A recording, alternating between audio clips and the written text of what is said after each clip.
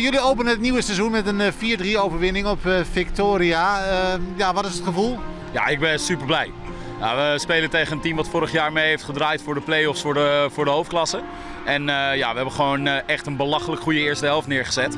En in de tweede helft zijn we wat minder sterk begonnen, maar we hebben het uiteindelijk recht getrokken. Dus daar ben ik gewoon trots op en blij mee. Ja, het was echt een wedstrijd met twee gezichten. je leidt comfortabel met 3-0. En dan komen ze gewoon terug tot 3-3. Ja, hoe is dat in vredesnaam mogelijk? Ja, ja, wat ik zeg, we zijn de tweede helft met te weinig energie gestart. Uh, uh, te, te weinig uh, de simpele bal gespeeld. Heel erg eendimensionaal richting voorwaarts gehokied. En, en daar hebben we gewoon veel balverlies mee geleden. En daar zijn zij gevaarlijk mee geworden. Ja. onder de lat bij jullie een, een A-junioren, Nicole Boer. ja, die bleek kwetsbaar.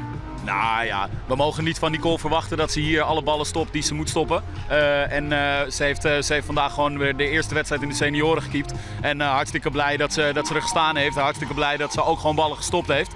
dus laten we daar alsjeblieft niet te snel te negatief over doen. Het is de eerste potje. Volgende week gaat ze er weer een stuk meer pakken. Ja, is het niet een absoluut noodverband voor jou? Nee. Nee.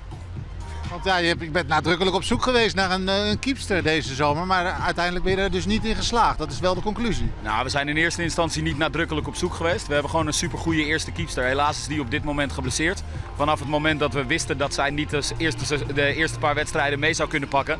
Toen zijn we gaan zoeken. Uh, maar we wisten wel dat op het moment dat dat niet lukte, dat we Nicole achter de hand hadden. En uh, ja, mark my words, die gaat nog een stuk betere wedstrijden voor dames heen keeper dan dat ze vandaag heeft gedaan.